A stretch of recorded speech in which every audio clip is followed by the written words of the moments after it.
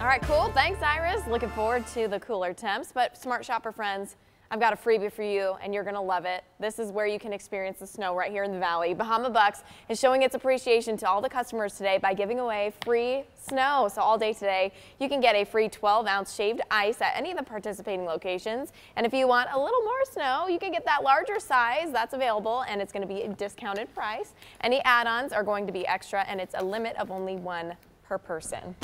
So the add-on would be like the cream that they put in, Yeah. right? Yes. See, Or the ice that's cream the in the kicker. middle, the Bahama Uh-huh. Rama Mama style. Yes, I know you love that one, Danielle. I know, it's We're so gonna have to try that at home. And I do remember the last time they did this, the line was really long. Oh, good. Yeah, So so, get just there early. up. Yeah.